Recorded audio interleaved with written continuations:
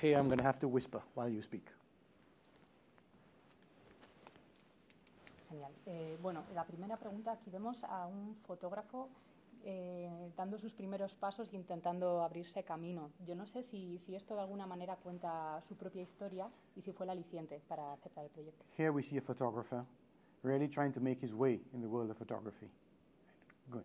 Does this remind you of something? Has it got to do with you, photographer trying to make his way, trying to get a big story done? Well, I, obviously I, I recognize the um, the struggle when you start to get your photographs published. Um, but I, I, never, you know, was a red carpet photographer or something. But uh, I, I understand the situation. Um, and that was one of the reasons why I was attracted to the film. Eh, en algunos momentos eh, de la película se ve que, que la, la, inmediatez y la, casi la improvisación del momento, ¿no? Eh, de esos momentos surgen las mejores fotografías. At times we see immediacy, improvisation in the films, in the in the film. Such moments perhaps bring out the best part of situations for things like that, and in the film as well, for for, for taking photographs. Yeah, I I, I, I always feel that um, an intuitive approach is really great for photography. It's much harder in film, but. Um, um, and Dennis Stock, of course, was more a documentary photographer than I am. So he, he sees situations and reacts to it. Eh, ¿No sintió, digamos, no sé si miedo al introducirse en, en una vida tan, tan icónica? Weren't you afraid or intimidated by getting into such an iconic life?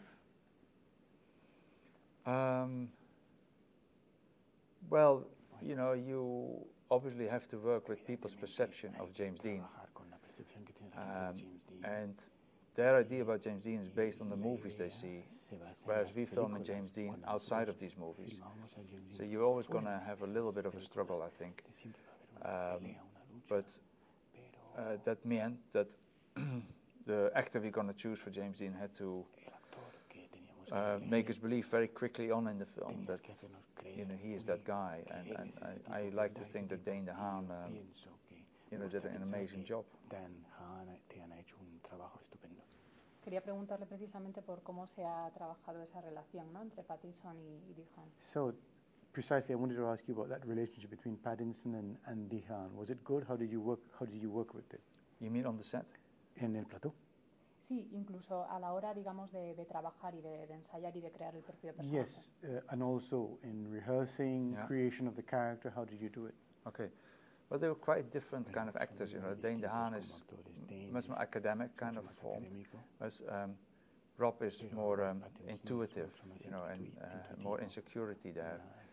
But that was great for the roles, and um, um, I, I, really enjoyed working with both because there was a real great young energy on the set. Um, I really, I really enjoyed that. Same with Control. I had a similar feeling with Control.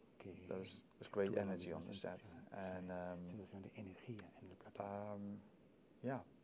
Sorry, I think that's answered that. Supongo que te he contestado. yes. Bueno, eh, yo me preguntaba viendo la película. Eh, ¿Qué retrato o qué fotografías habría hecho Corbijn de James Dean si hubiera tenido la oportunidad? When I was watching the film, I, I couldn't help wondering what photographs would Corbijn have taken of James Dean had he had the opportunity to? Yeah, well, that for me is also an, uh, an, an, open question. I, um, I, I, like to think that Dennis Stock did great pictures because they were documentary-like. And because of that, you get a real sense of the situation, of the era, of James Dean in his environment, which is more important now than if you would have a, doc, uh, uh, a portrait photographer doing pictures of him. ¿Qué admira de, de, su obra, de su trabajo hasta hoy, no solo de, de su obra? De, Denis? What? Ah, what do you admire of Dennis Stock's work? You. Well, I, I, guess just what I point out, he has a very sharp eye for situations, and he, you know, was important photographer in the 50s of the documentary style in which we told stories in the magazines, like W. Eugene Smith, who is one of my favorite photographers of the period. Um, uh, and yeah, that's what I, I think.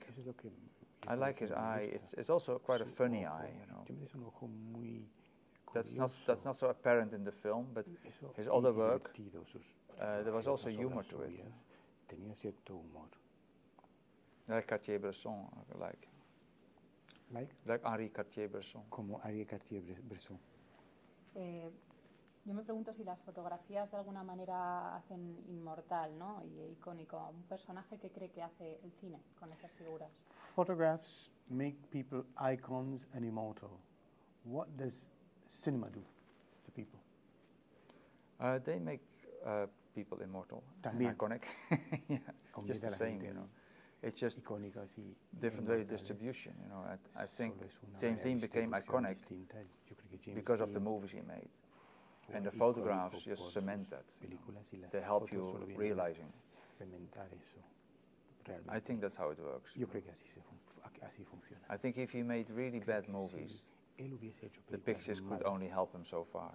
Las fotos solo le hubiesen ayudado hasta cierto punto. Uh -huh.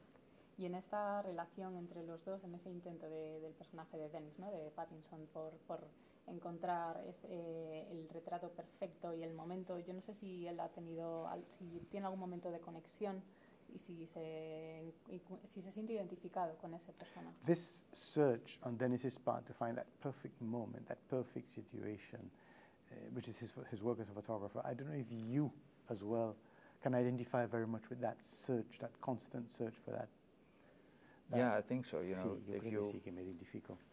If you're not always on a bit of an edge, I, I think casi al límite, the work might suffer. Yo creo que el, el, el, el trabajo lo resiente, lo no, se nota, sufre. Me pregunto si vamos a ver a Corbijn dirigiendo, llevando a cabo eh, proyectos sobre biopics, vamos, sobre, sobre vida, sobre otros. Are we going to see Corbijn doing other works, biopics of interesting people? Are we going to continue to see that? Yeah, well, in a way, this is not much of a biopic, but uh, you know, I, I, the next film is also a story based on true events. It's not a biopic, but it's based on, on true events uh, that played in America in the late 40s, early 50s. ¿Alguna pista más? Can you give us more? Yeah, no, you can uh, Google it. It's um, a book I'm going to do a film of called Devil in the Grove. se llama El Diablo en, en, en, en el campo. Yeah, like the orange groves. You know, ah, en Naranjal. Diablo en Naranjal. And it's, it's, the writer is called Gilbert King. Es, está basado en un libro de Gilbert King. Yeah. Okay, I mean, I can, uh, I can talk more about it, but it's, it, uh, it's about... Um, se trata de it's a court case basically about four black kids who get accused of raping a white girl in Florida in the late 40s. and there's, there's a, I mean, there's all kind of, uh, you know, the Ku Klux Klan is involved and, and the NAACP from New York comes down to Florida. Uh, the lawyer of the case is called Thurgood Marshall. He is an incredibly important person who won a big court case later called uh, Brown versus the Board of Education, which gave equal education rights for everybody, which is a major stepping stone in America. And he later became um, the first black African American to become Supreme Court judge. De la Corte Suprema negro en Estados Unidos. And the film after that.